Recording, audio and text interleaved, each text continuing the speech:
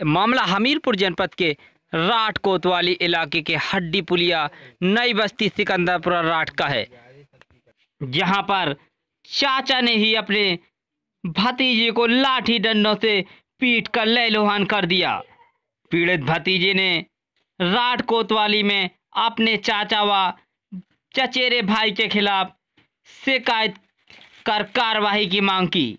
तो आपको बता दें कि बीते इकतीस तारीख को सुगर का चाचा राम किशन, उसकी बाइक लेकर मुस्करा गया हुआ था। जब उसका चाचा वापस घर लौटा तो उसके भतीजे कुंवर सिंह ने गाड़ी खराब होने की बात कही, जिससे चाचा आग बबूला हो गया और अपने भतीजे सुगर सिंह और कुंवर को लाठी डंडों से पीट लहलुहान कर दिया।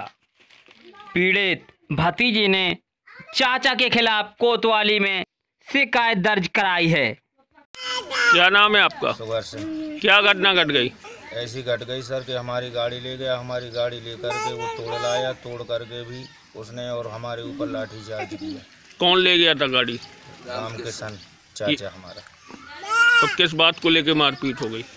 बात को कसम कौला हुई और कसमी कौला हो करके फिर भी उसने प्रहार किया। इसके बाद फिर पहले हमारे छोटे भाई को मारा इसके बाद फिर हमको हमला किया।